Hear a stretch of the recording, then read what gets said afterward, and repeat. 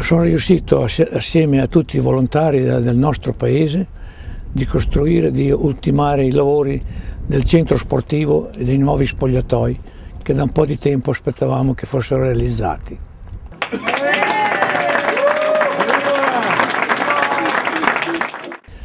E è stata una giornata meravigliosa con la partecipazione di tutte le autorità e, tutti, e tutta, la cittadinanza, tutta la cittadinanza di filo e non anche di Argento, di Bando e di Longastrino. Sono stato molto contento, come tutti, di questa partecipazione e di questa inaugurazione perché è riuscita una cosa stupenda.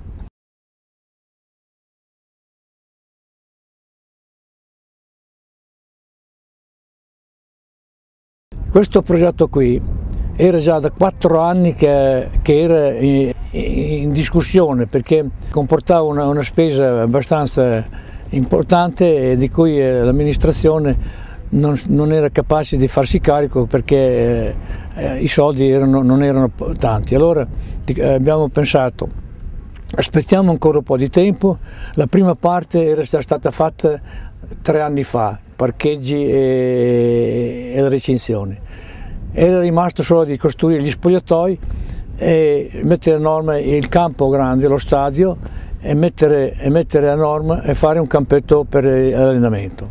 La nostra intenzione era, è quella di fare la scuola di calcio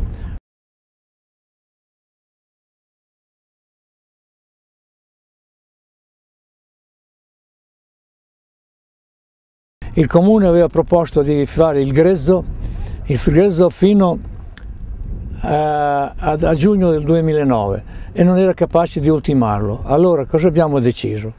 abbiamo deciso come Consiglio di partecipazione di fare un sondaggio sulla nostra popolazione, sulla nostra comunità e abbiamo riscontrato che c'era la disponibilità dei capi cantieri, delle aziende sul territorio di collaborare per poter dare una mano a, a Soeglie e al comune di dare una mano abbastanza importante perché Consideri che col volontariato, come abbiamo fatto noi, abbiamo fatto più di 3.000 ore di lavoro del volontariato.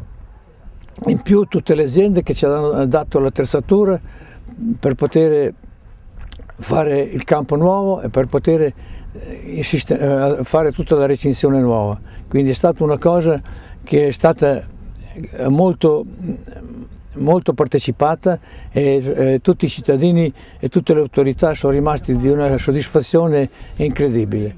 Oggi proprio è stata una giornata indimenticabile, una gran festa qui nella frazione di Filo.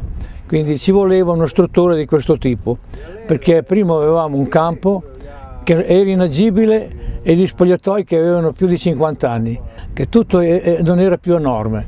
E allora siamo stati un anno senza squadra e adesso ritorniamo ancora a fare, portare il calcio a filo perché il calcio per noi è la vita della nostra frazione.